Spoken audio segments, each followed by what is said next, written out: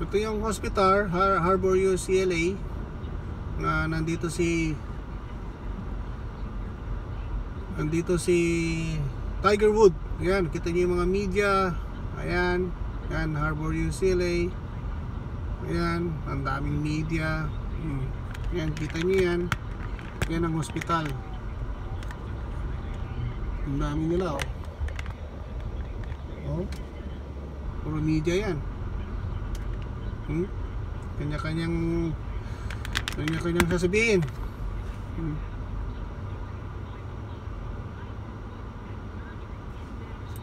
he crashed his SUV at a high speed into a median and rolled over several times.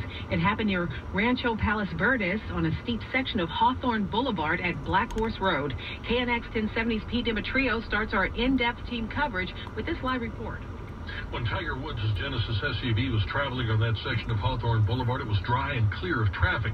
But LA Sheriff Alex Villanueva said cars often travel faster than legally allowed when going north there, and there were no signs Woods was trying to slow down when he went into a wide curve near the bottom of the hill. Yan, nandyan si Tiger Woods.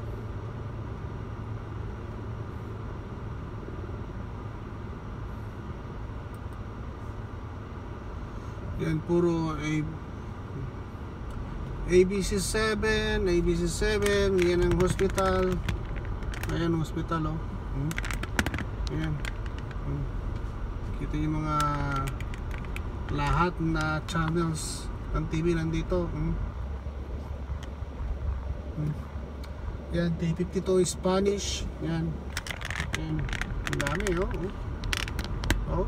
Hmm. Kanya-kanyang media. Hmm. Yan. Channel 2, Channel 9. Yan. Nandito lahat ng mga media. Yan, sikat ng Carson. KTL 5, Los Angeles.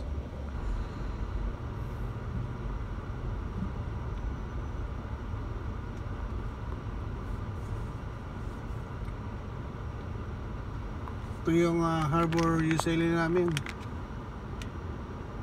Yan o. Malapit sa bahay.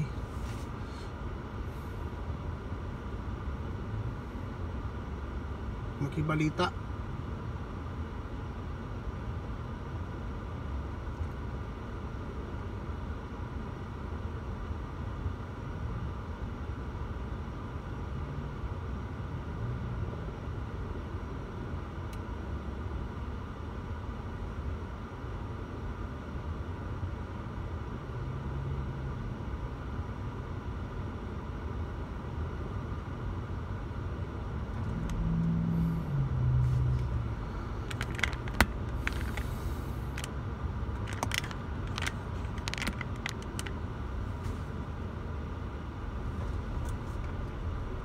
Yan, channel 2.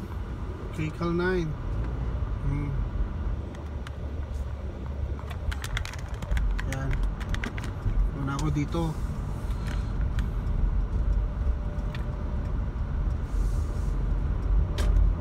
Yan ang hospital namin. Hmm.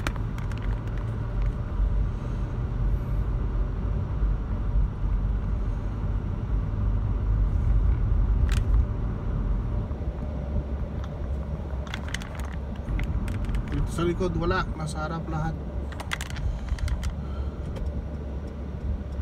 Wala naman ako sa likod. Hmm.